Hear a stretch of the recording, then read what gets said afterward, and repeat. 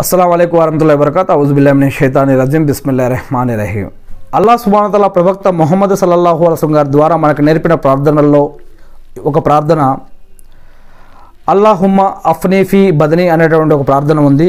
దాన్ని తెలుగులో అర్థం ఏమిటి అంటే ఓ అల్లా నా శరీరానికి స్వస్థతను ప్రసాదించు. ఓ అల్లా నా చెవులకు స్వస్థతను ప్రసాదించు.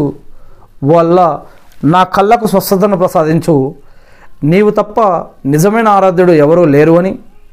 వల్ల తిరస్కారం కుఫ్రు నుండి బీదరికం పేదరికం నుండి నీ శరణు కోరుతూ ఉన్నాను వల్ల మరియు సమాధి శిక్ష నుంచి ఆలమే బర్జకులో ఉన్నటువంటి శిక్షల నుంచి నీ రక్షణ కోరుతూ ఉన్నాను వల్ల నీ శరణ కోరుకుంటూ ఉన్నాను వల్ల నీవు తప్ప నిజమైన ఆరాధ్యుడు ఎవరు లేరు అని నేను విశ్వసిస్తూ ఉన్నాను వల్ల సాక్ష్యమిస్తూ ఉన్నాను వల్ల అని ఈ యొక్క దువా యొక్క అర్థము అని ఇక్కడ అబుదాబుద్ హదీస్ అహ్మద్ హదీస్ గ్రంథం నసాయి హదీస్ గ్రంథంలో ఈ యొక్క దువా గురించి చెప్పడం జరుగుతూ ఉంది.